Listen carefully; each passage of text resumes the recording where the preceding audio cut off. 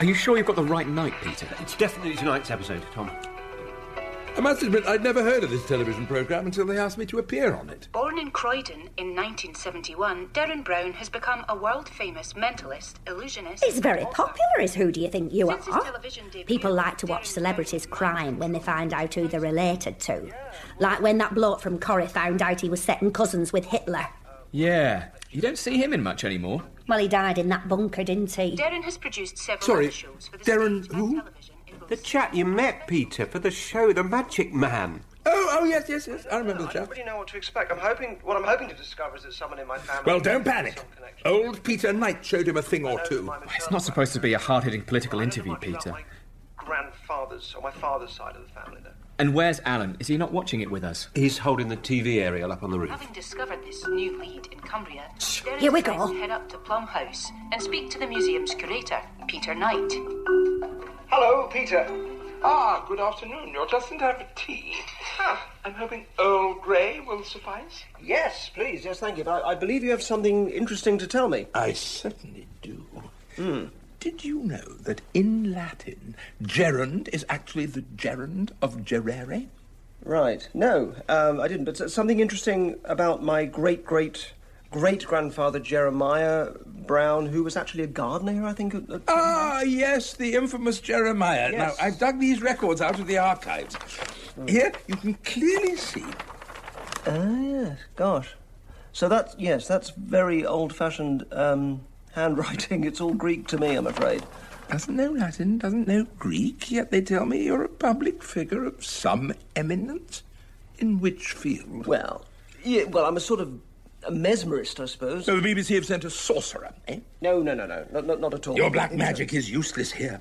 Your imps can't harm me. Peter, please. No, I. Ah, mustn't let the tea grow cold. How do you take it? If you'll allow me to play mother. Oh, uh, Peter, you haven't got any trousers on. I can't for the life of me remember where I left them. But the cameras? I. Oh, are they actually filming now? Yeah, so that's the point. So. Yeah, no, this is so. This is why we're here to learn about my great great great Well, grandfather. well, why didn't you say? Look, I think we've rather hit it off on the wrong foot, old boy. Would you like a jelly baby? Oh, go on. Perhaps when the camera stopped rolling, you could turn it into a real baby. Some sort of moon child. I can't. I can't. I can't do that. Four hours later, and after much further confusion, Now, let me suggest what your great, great, great, great, great, great, great, great, great grandfather's life would have been like. We have the persuasive power Look, there, that's, that's my hand tapping Derren on the shoulder. I was trying to show him one of my card tricks. I, I used to be a bit of a magician myself. Derren finally makes a hasty exit from Plum House with a little information about Jeremiah Brown. Now, Peter, put the, the sword down. Charlie, get the car. Return, wizard, from whence you came. All things considered, I think that went rather well. What show were you watching? To be fair, Derren was one of our more satisfied visitors. My only regret is buying that trick deck of cards and not getting to use it. I can't believe this. It was bad enough that you both kept this filming secret from the rest of us, but then to be so rude to a celebrity on national TV. And we. Hmm, well, that's weird. What is it? Well, I've got like ten texts. It's not your birthday, is it, Tom? No. Well, it's people who are watching the show. So, bloody hell, I've not spoken to him since uni. Say nasty things, are they? I don't blame them. No, they're, they're not actually. They're all. They're all saying they enjoyed it. Give over. Well, of course they enjoyed it. Oh my god, you're trending on Twitter, Peter. Marvellous. Sorry, what is Twitter? You've even got a dedicated hashtag. Your very own hashtag, Peter. You've made it. Well, it's hashtag so British. It seems that people found your eccentric antics, well, quintessentially British, Peter. People have been famous for worse things. Enjoy your 15 seconds whilst it lasts. You'll be long forgotten by morning. Yeah, for all you might have briefly entertained a few people, Peter, the damage you've done to Plum House might be irreparable. I wonder if my arch enemy Mungo Prynne was watching. Julian, let's send him a VHS tape just in case. Really make the man sick with envy. Will do, Peter. Ugh, that's it, I give up. I'm, I'm off to bed. Right, Maureen. Pick a card. Any card. Right. Uh, no, not that one.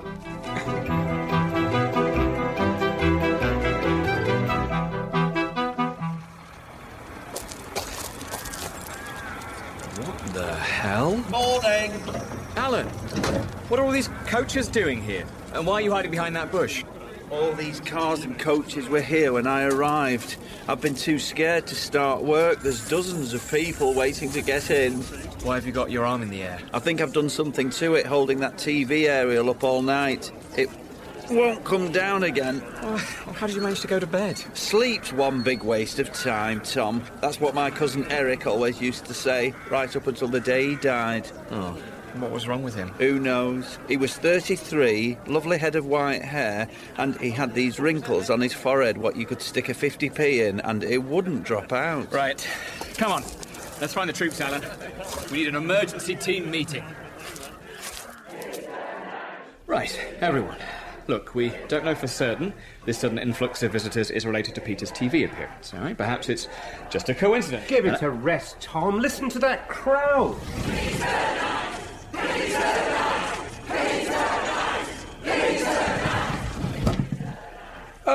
Has anyone ever heard a more euphonious sound? Peter's famous. Jethro Tull even retweeted a clip from the show of him playing the flute. Jethro Tull, the 18th century agricultural pioneer, contacting me from beyond the grave. I knew we should never have trusted that thaumaturge and his dark arts. Oh, think of all the merchandise I can sell. Peter, we'll have to get your face on some tea towels. Peter Knight, authentic swords for children to chase people off the premises with. But the museum isn't designed for this many visitors. I have a clicker for counting people in and out, and it only goes up to 10. Yeah, Alan's right. Now we need to carefully plan for how we're going to cope with this many tourists. And I really. Come on, Thomas! I can't keep my public waiting. Peter, no, wait.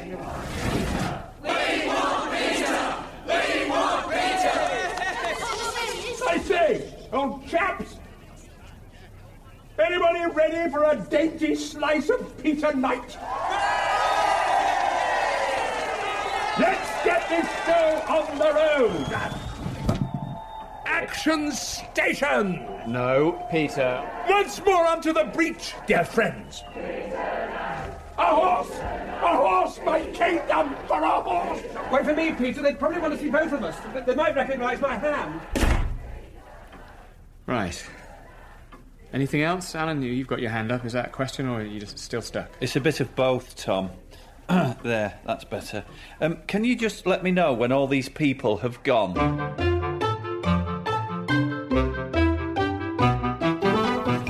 These bookmarks. It says it says it says two for three. Is that is that two for Can I just remind everyone in the gift shop that signed photos of our sore British curator are strictly one per customer? Can I have a bag?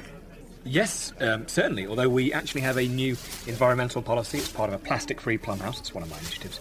I'm afraid we charge five pence per bag. Tom, Oh, it's the megaphone. Strictly necessary, Maureen. we don't charge 5p anymore. Oh, I know you don't like us charging for bags, and you think it's somehow funding communists in the EU. But we need to. No, carrier bags are now a quid, owing into demand. Oi! I hope you're buying that. Hold on. I, I should really get this. Just h- hang on a minute. Hello, Charles. Tom, you there? I wanted to discuss Peter's appearance on TV last night. Now you have to believe me, sir. I knew nothing about it. I just wanted to say what a fantastic idea the whole thing was. Yes. Well, as I was saying, to, to start with, I didn't know anything about it, and then it all became quite heavily my idea. Plum House is trending online. Who'd have thought it? It's fantastic news. Isn't it just? But as you know, the Heritage Trust's word of the year for 2020 was online engagement. Still maintain that's two words, sir. So I just wanted to give you a big aural thumbs up. We're all about getting the heritage conversation started on tomorrow's technology today. Okay, well, thank you, sir, and thanks so much for calling. As you know, it's an honour to work for the Heritage You're Trust, right, Tom. Nobody likes to suck up. Did you do these in any other colour? Do you? Uh, Maureen, we're after some change. What for? People are actually paying for selfies outside with Peter. With Peter?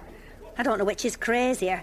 That folk are daft enough to pay, or that Peter knows what a selfie is. It took some explanation, and he's still a little concerned the Chinese government might be able to steal his soul. Wait a minute. If Peter's taking selfies and you're collecting the money, well, who's giving tours of the museum? Alan. Alan? But he doesn't know out about the museum. Exactly, so we've got him giving tours on the lake instead. Right, good. Uh, well, hang on. What lake? What do you mean the pond? Well, that's tiny. You've got to think big these days. Um, welcome to the Plum House Aqua Tour. On our left is a duck and uh, another duck. If uh, if you have them in Japan, if you don't, um, I'm sorry. And on our right is it looks like a piece of white bread. Uh, oh, it is. And we're there. Uh, that concludes the Plum House Aqua Tour, and that will be ten pounds, please. Which button, Julian? Ah, ah, yes. Yes, now, has everybody got a self-taken telephone photography botty? if you don't have one, then come and gather round. Allow me to tell you a little bit about my trousers. They're red cords, replacing a much beloved pair that sadly caught fire one Mic- Michaelmas. Sorry, I could do with a cough sweet. My wife bought these cords for me, though from what bazaar I'm afraid I know not. In fact, I'm not entirely sure I know where my wife is. Has anyone seen her? She's about this big.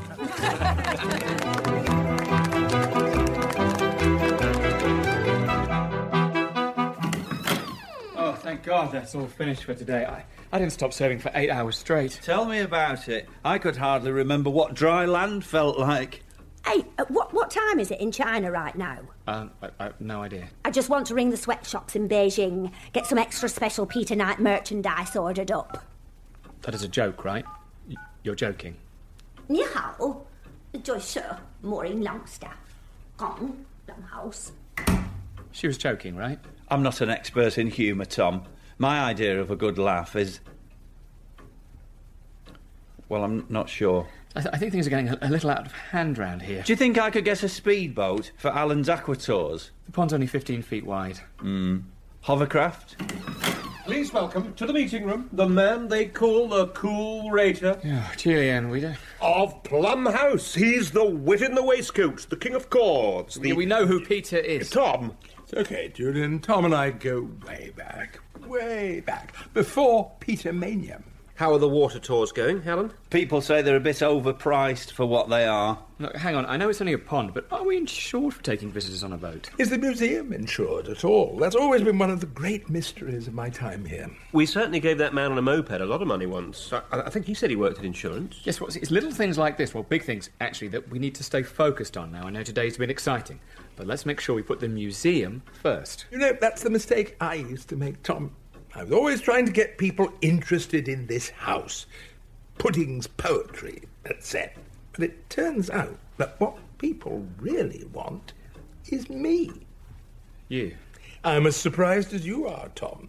Is it my charisma or my intellect? Some have said genius. That's probably it. All wrapped up in a very agreeable package. Oh, the grannies love me, the mums and the kiddies too, and let's not forget the lad. Heaven forbid. Thinking about it, I'm a kind of a sexier Michael Portillo, if such a thing can be imagined. I might seem a bit staid, a little safe at first, but there's this sense I've really lived, that anarchy lies just beneath the surface. Peter, I'm getting rather concerned that you're putting this fame, your own ego, before the museum. Do you know how much this man's just made for Plum House? More in a day than we usually take in a year. And, and this is just the beginning. Sorry. I, I really do need a cough sweet. Don't worry, I'll sort you out. Look, I know that Peter's TV appearance has certainly helped bring in, you know, a few more visitors, but we don't want our newfound popularity to be some flash in the pan. I mean, we all know that people will soon be bored of taking pictures with Peter. How dare you? You're talking about a national treasure, Tom. Don't worry, Julian. He's only jealous. You see, there's a hip new record on the Milk Bar jukebox. Got all the cool cats digging it, and it's called Peter Knight's Theme. Come on, Julian. Coming Has everyone round here gone mad? Maybe I could do tours of the grounds in a helicopter. You shouldn't let him speak to you like that, Peter. Oh, I never paid Thomas much heed. Why should all that money go to the museum? I mean, it, it is Peter Knight they're coming to see, after all. Keep talking, Julian. I like the cut of your jib. What I think you need is someone to manage your business affairs. Oh, I don't know. I'm not sure I'm in need of a Svengali. You need a plan, Peter. What's next? TV, music, your own world tour? It's not for me to say, but if I was you, I'd be thinking Hollywood in the next two to three years. Really? I mean, I have always thought I'd be perfect in an MGM musical. Imagine me belting out my signature tune. Up goes the curtain, and then behind me, 10,000 Peter Knights dancing on a revolving stage. I wonder what Busby Berkeley is doing these days. I can see it. I can just see it. Well, Peter, it's clear there's only one man for the job. Who is he? Telephone him at once. No need, baby. He's right here. You? I have tons of showbiz experience. Really? I organised a disco in my college bar for Rag Week, and it, it was quite a success. Uh, meant to finish at bang on 11. No word of a lie, they were still boogieing at 20 past. I did not know this adventure in the crazy world of pop. Oh, I am very well connected, Peter. Uh, My uncle once played at a golf day with the man who managed Heaven 17. Is that some sort of terrorist organisation? You see, Peter, this is why you need someone looking out for you. Not only do I bring a wealth of experience, I've got your best interests at heart. Now that can never be denied. Where do I sign? We'll sort the contract later. Just shake my hand. Gladly. Ah, I feel like we should get some big cigars to smoke. No, we tried that once. Do you not remember? You had that dreadful asthma attack. Talking of the pipes, my voice is feeling very hoarse from all that chatter with the fans. I really need you to sort me out some cough drops, old boy. Wouldn't want me losing my voice now, would we? Better make it an extra large pack. Morning, Maureen. Whoa there, stop. That'll do. Have you seen Peter? Not yet. Go on, open her up. Oh, have you ever seen so much gift shop merchandise? Smell that, Tom. Do you know what that smells like? Plastic and fudge. Smells like success. Well, I'm glad you're pleased. Ah, there's Julian. He might know where Peter is. Julian! What are you. You can't. The grounds of Plum House are non smoking, you know that. Oh, I'm not going to like the cigar, Tom. It just uh, suits the new role. What new role? You, you didn't do anything in your last role. Uh, I'm Peter's agent. I manage him now. you know nothing about show business. Well, that's where you're wrong, Tom. You see, I've had a key role in already securing Peter his very own TV show. What? How? Well, a producer rang me last night and said they wanted to make a pilot with Peter presenting it, and I said, yes, okay. So your key role in all this was saying, yes, okay. It's all about the way a manager says these things. Yeah, fine. Can you just tell me where Peter is now? There's coachloads of people here to see him, and they're starting to get a little bit impatient. Oh, well, you see, me and my client Peter have decided that he's a bit above meeting and greeting the general public now, especially as the film crew are arriving this PM, as we call the afternoon in the biz. They wanted to snap him up before any other production companies swoop in and. Where is he, Julian? He, he needs to get out here before the visitors start leaving again. Uh, never you mind. We don't need to involve. Uh, hold on, if you'll excuse me a second. Hello, Big J Talent Agency. Julian speaking. Which one of our clients are you calling about? Ah, Peter Knight, yes. Oh, for God's sake.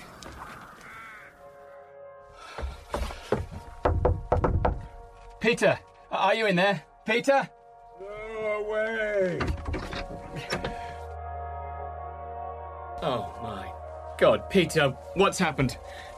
What are all these wrappers on the floor? Have to keep my voice in check for the public. These can't all be cough sweets. Without my voice, I'm nothing. How many have you had?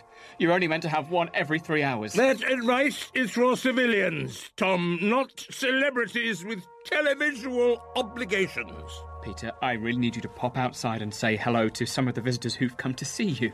I don't need them anymore. I've told you, I've moved on to bigger things. I'm to star in my own television show. Professor P comes to tea. They're thinking of calling it. It's a highbrow, hard hitting, groundbreaking format where I meet distinguished luminaries for tea and biscuits. Okay, but some of these people have driven hundreds of miles to see you, Peter. And would you just drive to Ralph Richardson's house? and demand an autograph? Would you suddenly appear at Tommy Trinder's doorstep and beg a signed photo? I'm not even sure who that is, Peter.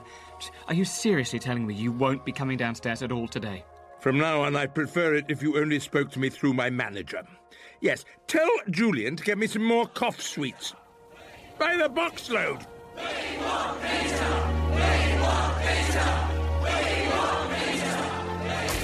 How are you getting on? They're getting pretty angry, Tom. We're going to have a mob on our hands at this rate. Where is he? He's not coming. What? Tell him to get down here right now. Uh, it's no good. Peter won't budge. I think someone's going to have to give them the bad news. Well, don't look at me. I've seen mobs like this attack people before. I've been in mobs like this that have attacked people before. And I don't like delivering bad news to people, or any kind of news. It's why I didn't make it as a postman. We'll need tear gas, rubber bullets. Honestly, give me the megaphone, Maureen. Uh, hello, everyone. Sadly, owing to one or two personal issues, I'm afraid that today's meet and greet with our curator Peter Knight is unfortunately cancelled. But don't worry, uh, the museum is still open, and I am sure you'll find the fascinating world of George Pudding very. Give me that thing. The gift shop remains open. We now have Peter Knight's famous George Pudding lectures available on compact disc, cassette tape, and for the tech savvy amongst you, mini disc. Go on, be on your way. And don't come back. You are? They're all leeches. Blood sucking leeches. What a horrible man. You're joking, and I've come from Ormskirk. And uh, do you know when Peter will be arriving? It's just we're already running behind, we'd like to get this screen test done before. Linda, Linda, Linda. Lindsay. D- Lindsay, sorry. Look, I know you might be a big shot director with your, your big shot camera crew here, but I'm also a big shot manager slash talent agent, and my client, Peter Knight, is also a big shot viral personality, so we're all big shots here. Hmm? Capiche? Not really. I just want to know when Peter will be appearing. Well, I've cut off his supply of cough sweets, so he should be with us very shortly. But uh, he did have a few thoughts on the script. He hasn't seen the script yet. Exactly. He'd, he'd, he'd like to see a script. Where are they, Julian? Ah, uh, Peter, uh, uh, they're here and ready to film when you are. The kettle's just boiled and. Not these imbeciles. My cough sweets. I need my lozenge lifeline. I just need to get completely decongested. Hi, Peter. Uh, I'm Lindsay. I'm directing the Professor P Comes to Tea pilot. Uh, we thought it might be good if you just did a bit of improv on camera first. Uh, repeat some of the things you said when you met Derren Brown. Oh, that's what this is, is it? Peter. I'm just a puppet. No, at least a puppet moves. I'm just a tailor's dummy. Well, there's much more to me than that. Much, much more. At which intellectual heavyweight have you booked for today? Who shall I be speaking to? Well, uh, obviously it was short notice, and it's just a screen test, really, so our options were limited. David Starkey? We go way back. Uh, no. One of the Jonathans? Meades, Bate, Dimbleby? Uh, we've actually got Rahul from Bake Off coming. Uh, he should be here any minute. He's running a bit late because he was having a nightmare icing a cake for his local leisure centre. Julian, what is going on here? I've already voiced my concerns, Peter. They could at least have got that sexy French one. What was she called? Manon? I mean, it's a couple of years ago now. I can't quite remember what. Is anybody even listening to me? Is there a voice coming out of my mouth? I need another cough sweet. And break it into powder for me. It'll get into the system quicker. Just, just take a breath, Peter. Uh, that's it. If you could just face the camera, Peter. Uh, no, sorry, that's a light you're facing. Yes, I know what I'm doing. I'm not a half-wit, you know. And your audience, they're not half-wits either. Sorry, Peter, if you can What just... the flip is this man doing now? Uh, that's our cameraman. Hi. Well, what's he doing there? He's in my eyeline. Uh, he needs to hold the camera in your eye line, Peter. Oi, you! Do I come to your work and stand in your eyeline? Do you know who I am? Right, well, uh, good morning, everyone. I'd just like to start the meeting by giving my commiseration to Peter as I hear that the BBC decided uh, not to go with his Professor P pilot in the end. It didn't help that you pushed the lighting man over, Peter, and then started strangling Rahul when he helped himself to one of your cough sweets. Yes, it appears my brush with fame may have slightly inflated my ego. One day of fame and you turned into a monster. That level of celebrity is hard to cope with, Maureen. It's no wonder I turned to the dangerous, nay, deadly world of decongestants. How Cliff Richard has stayed on the straight and narrow all these years is anyone's guess. But thanks to your timely intervention, I'm now two days clean. Excellent. Well, I'm afraid to say, ever since people started tweeting about your behaviour, the visitor figures have fallen steadily, and yesterday our numbers sadly dropped back into single figures. What?